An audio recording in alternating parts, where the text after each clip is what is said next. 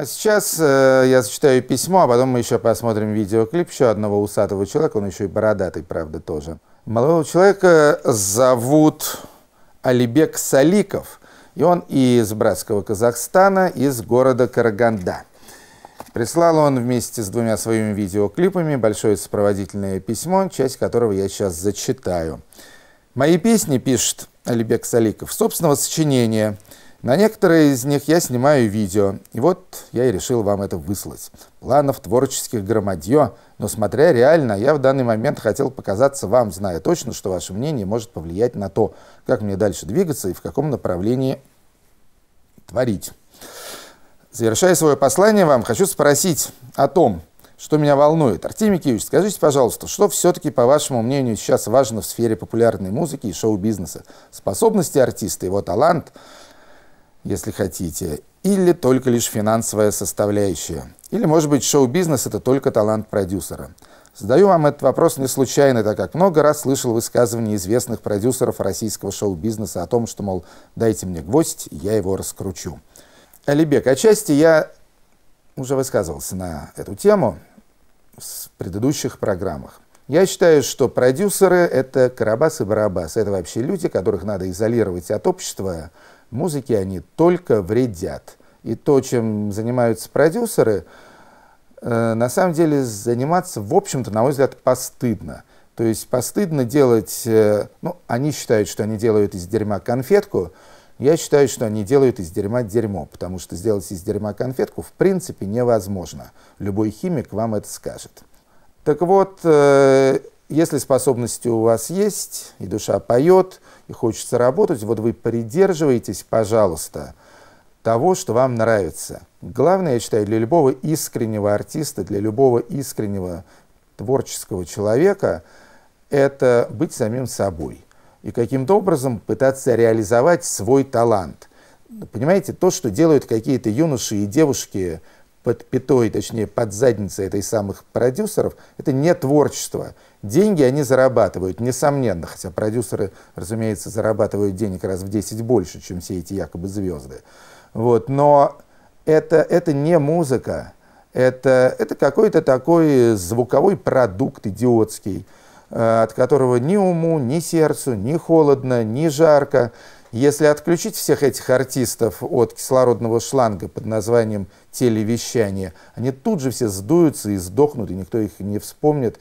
Не то, что в следующем десятилетии, никто их не вспомнит и через год.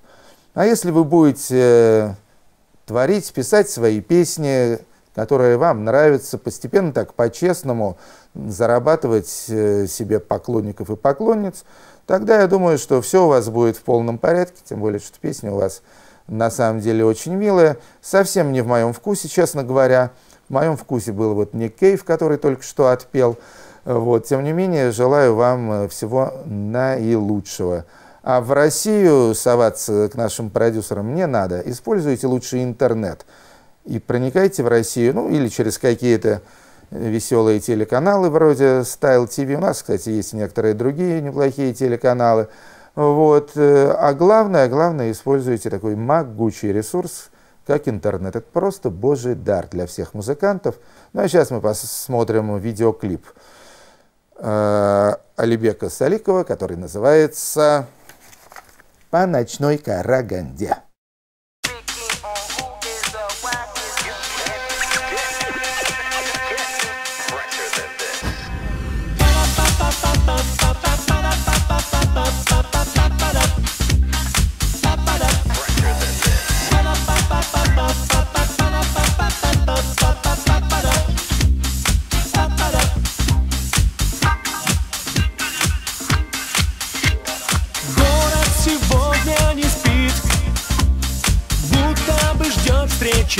ушей. Город огнями горит Освещая путь тебе по ночной караганде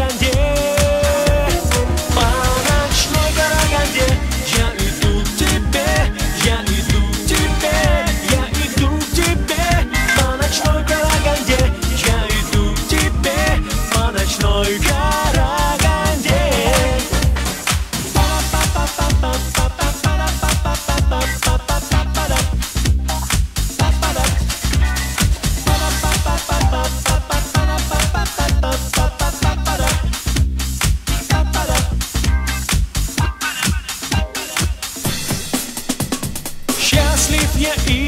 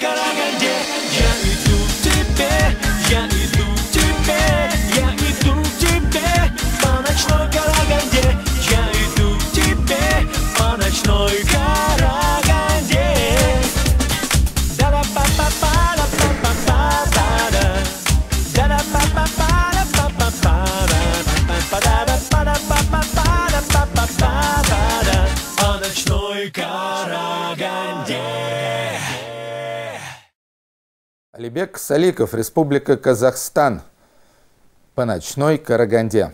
Так назывался этот клип. Еще раз спасибо Алибеку за внимание к нашей программе и за интерес к моему мнению.